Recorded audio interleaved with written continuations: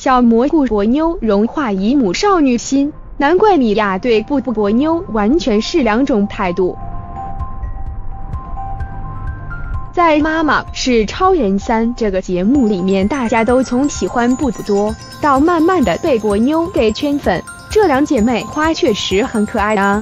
在布布和米娅争吵之后，大家都对米娅大有评判。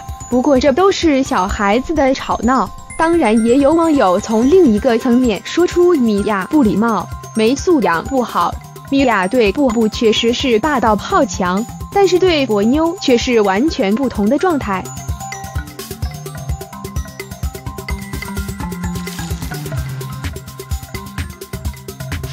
方志友刚带米娅来到贾静雯家里，就看到了坐在地上的波妞。波妞一直都是安静的美女子啊。哈哈哈！即便安静的坐在地上，也能夺得很多人的关注啊！方志友带住米娅走到波妞身边，贾静雯教波妞喊米娅姐姐，哈哈哈！波妞看住米娅都笑了，很可爱。然后这个软趴趴的在地上这姿势是啥意思呢？小波妞未必你是害怕了。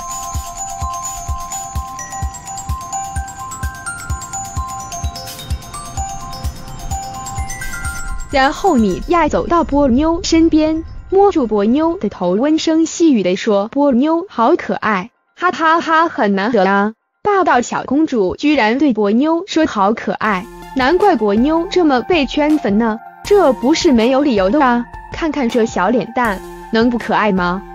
真的很萌了。”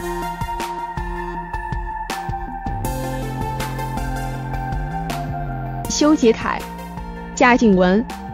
方志又坐在地上讨论了许久之后，便拿了一个小蘑菇，发誓戴在波妞的头上。刚戴上，大家都异口同声的说：“哇，好可爱！”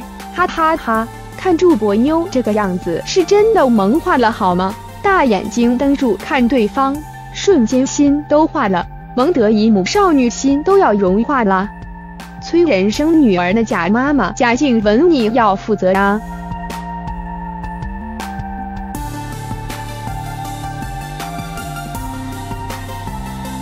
知道为什么波妞似乎很喜欢米娅呀？米娅看住可爱的波妞都萌萌哒，自己都看得不好意思了。而波妞则伸手要去摸米娅，哈哈哈！小可爱，你要干嘛呢？小手手神在半空中，却是半天没摸住人啊！人家米娅姐姐害羞了呀。不过这样的萌波妞真的是萌一脸啊，太可爱了。小波妞才一岁啊。就有大波网友被圈粉了，简直太可爱了，百看不厌。这张脸，每天看住做梦都会笑呀。